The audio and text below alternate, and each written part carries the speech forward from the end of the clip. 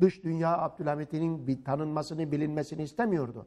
Onun e, bir anlamda yıkabilmek için de ona her türlü yanlışı söylediler, hakareti yaptırdılar. İçeriden maşalarını buldular, dışarıdan buldular ve Abdülhamit Han hakkında her türlü karalamayı yaptılar. Yani neydi Abdülhamit Han? Müstebitti. Neydi Abdülhamit Han? İstibdat rejimiydi. Neydi Abdülhamit Han? Diktatördü. Değil mi? Yani birinci bakışıyla. Ve o giderse her şey düzelecekti. E bugün de aynı noktaya bakalım.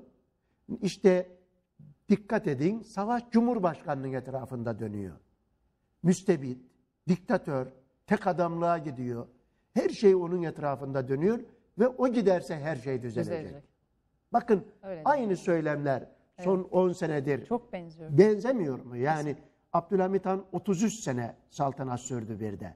Yani çok uzun süreli devam etti bu.